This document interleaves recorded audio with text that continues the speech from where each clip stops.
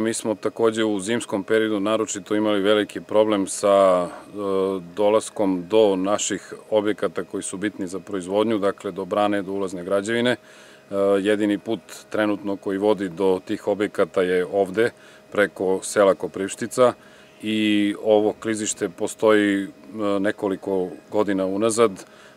Tačno je, mi uložimo povremeno određena sredstva u e, samu sanaciju toga kako bismo mogli da prolazimo, međutim, e, ozbiljni radovi do sada nisu e, rađeni.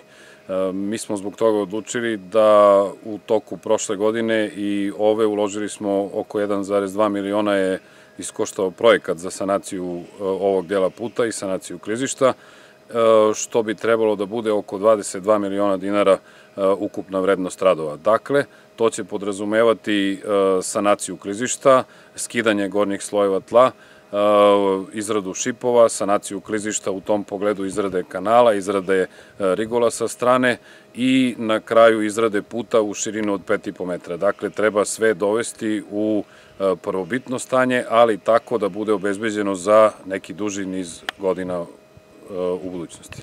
Samo klizište je dužine nekih 50 metara po da. slobodnoj proceni.